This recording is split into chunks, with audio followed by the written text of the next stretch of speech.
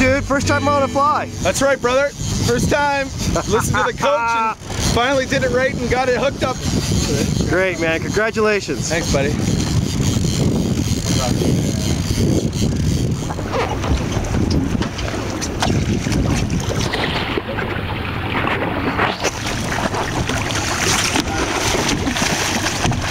Official? Official caught, brother.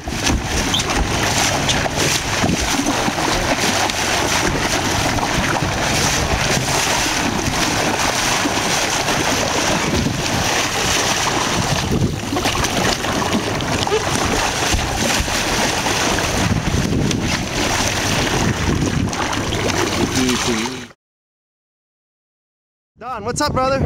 Just caught my first marlin on the fly. Thanks, Alex. Appreciate it. Great times. Uh, finally feels good. Now it's Chris's turn.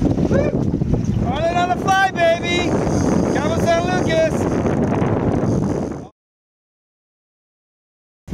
Hey, Don. What's up, brother? Not much, buddy. Just had a g- an amazing fight with a striped marlin on the fly. Couldn't get any better than that big run that it took. But it took me a lot longer to, than I think this fish was counting on for me to get it in.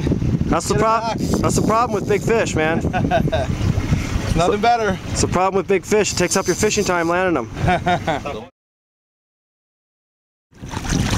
Ya. Hola, Luis.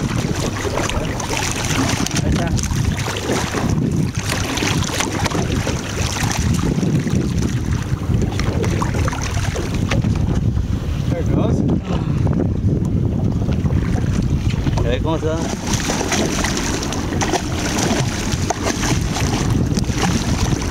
do you want me to?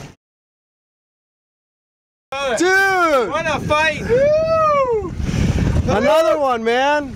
Oh, finally. Yeah, That's unbelievable. There might not be a better experience than catching a marlin on a fly.